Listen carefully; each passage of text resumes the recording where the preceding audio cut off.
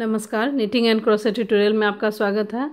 आज मैं ये सिंगल कलर का ये डिज़ाइन आपको इस वीडियो में बताने जा रही हूँ। यह डिज़ाइन बहुत ही आसान है। आप इसे जेंट स्वेटर में डाल सकते हैं। ये चार फंदों का डिज़ाइन है और चार सिलाइयों में बनता है।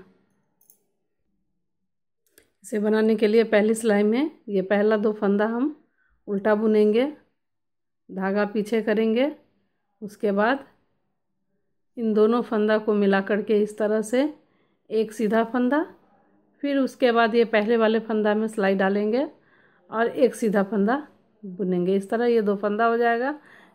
उसी तरह फिर ये इन दोनों फंदों को भी पहले दोनों को मिला करके एक सीधा फंदा, उसके बाद ये पहले वाले फंदे में को हम बुनेंगे सीधा।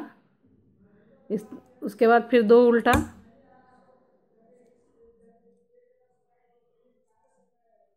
धागा पीछे करेंगे।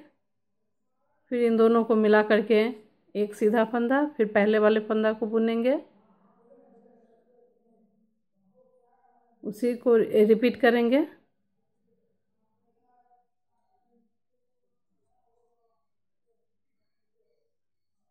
धागा आगे, दो उल्टा।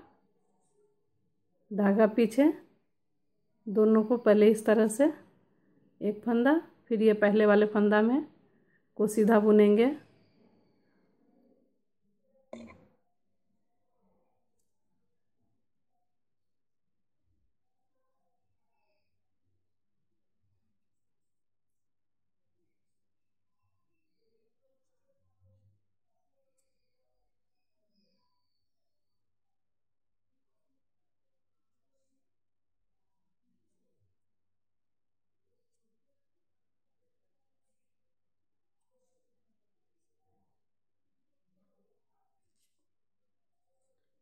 ये दो फंदा, उल्टा बुन लेंगे।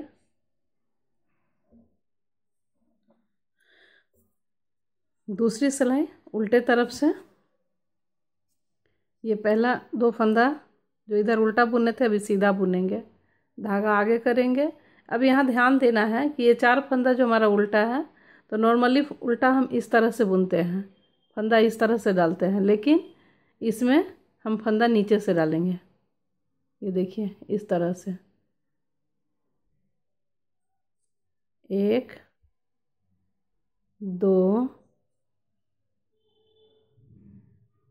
तीन और ये चार। धागा पीछे करेंगे, दो सीधा फंदा, धागा आगे करेंगे।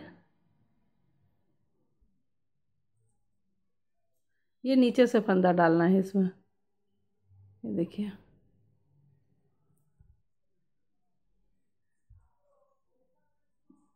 इस तरह ये चार उल्टा दो सीधा धागा पीछे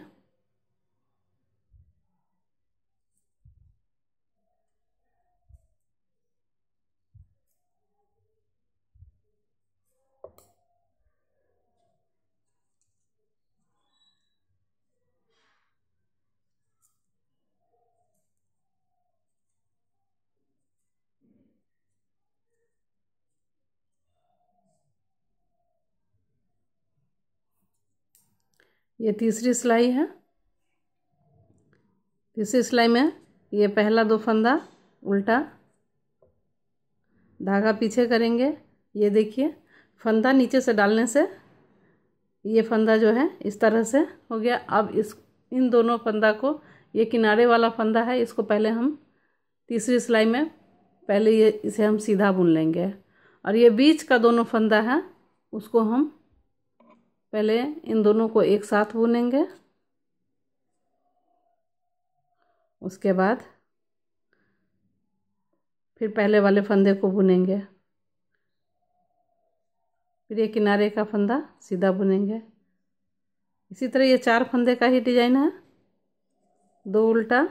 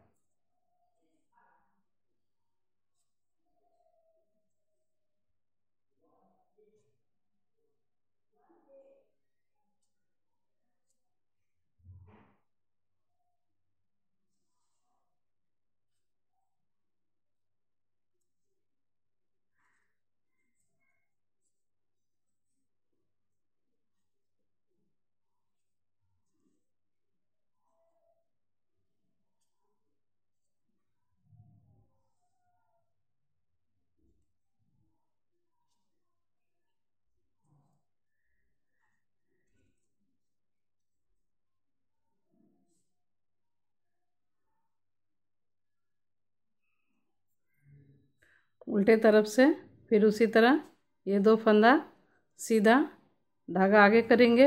ये चार उल्टा फंदा, नीचे से ये फंदा इस तरह से डालेंगे। दो सीधा, इसी तरह ये पूरी सिलाई हम बनाएँगे।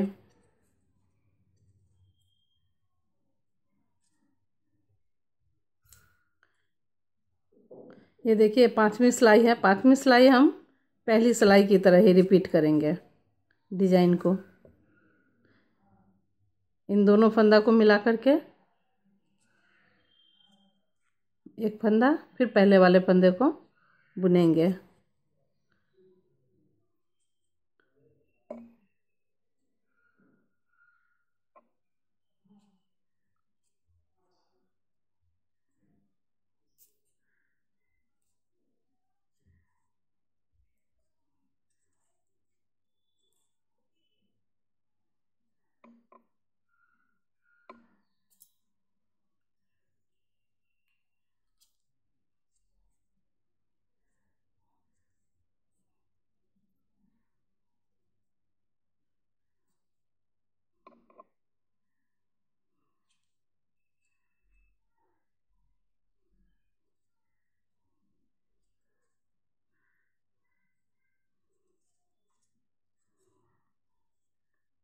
इसी तरह ये पूरी सिलाई बनाएँगे।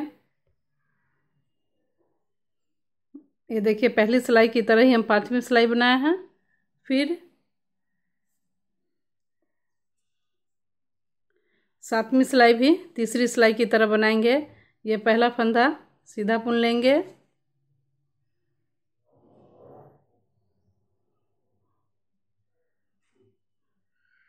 और इन दोनों को मिला करके पहले एक फंदा, फिर पहले वाले फंदा को बुनेंगे।